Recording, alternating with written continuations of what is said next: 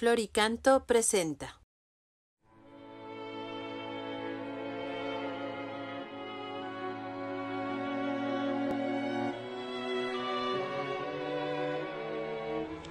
En el nombre del Padre y del Hijo y del Espíritu Santo. Amén. Lectura del Santo Evangelio según San Mateo. En aquel tiempo Jesús dijo a sus discípulos, No den a los perros las cosas santas, ni echen sus perlas a los cerdos, no sea que las pisoteen y después se vuelvan contra ustedes y los despedacen.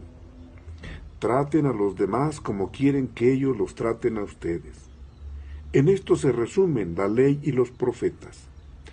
Entren por la puerta estrecha, porque ancha es la puerta y amplio el camino que conduce a la perdición, y son muchos los que entran por él pero qué estrecha es la puerta y qué angosto es el camino que conduce a la vida y qué pocos son los que la encuentran. Palabra del Señor.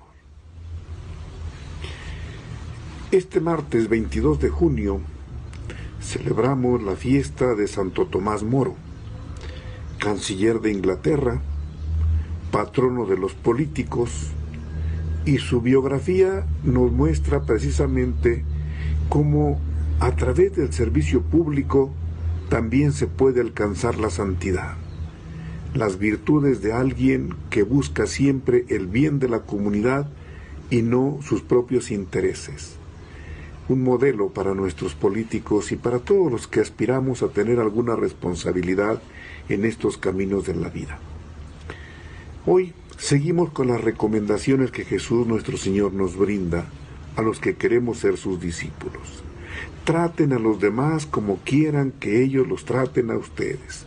Del Evangelio de San Mateo correspondiente a este martes 22 de junio.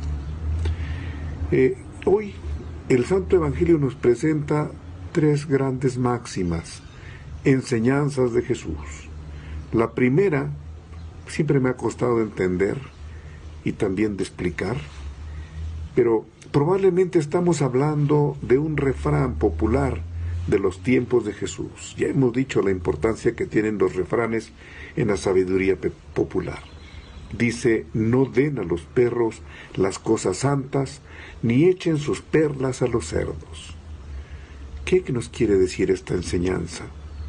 Algunos piensan que se refiere a los grandes tesoros de la iglesia como son los sacramentos, que no pueden darse a cualquier persona si no tiene una verdadera preparación para que los pueda comprender, para que los pueda vivir y llenarse de la gracia que producen. De hecho, todos los sacramentos requieren siempre una preparación, particularmente los de la iniciación cristiana para que el candidato pueda dar también una respuesta personal y llenarse de los frutos de la gracia de estos sacramentos. Otra idea respecto a esta sentencia ha sido también que las grandes verdades del reino de Dios no pueden ser comprendidas si no es por el don de la fe que solamente Dios puede darnos y que hay que pedir, hay que suplicar. La segunda enseñanza es más fácil de entender. Traten a los demás como quieren que a ustedes los traten. Esto puede referirse a actuar sin prejuicios, a tratar bien a los demás con caridad, con buena voluntad, estableciendo así buenas relaciones recíprocas. Traten a los demás como quieren que ustedes los traten. Y la tercera, entren por la puerta estrecha, es también sumamente clara, porque dice el Señor, amplio es el camino que conduce a la perdición. Sí, a todos nos gusta lo fácil, pero es estrecho el camino que conduce a la vida se requiere el esfuerzo, el trabajo, la dedicación para obtener los grandes ideales, lo que necesitamos en este mundo y lo que necesitamos para la vida eterna. Es la enseñanza de Jesús. Hay que esforzarnos si queremos lograr lo bueno porque lo barato cuesta caro. Que el Señor conceda seguir sus caminos.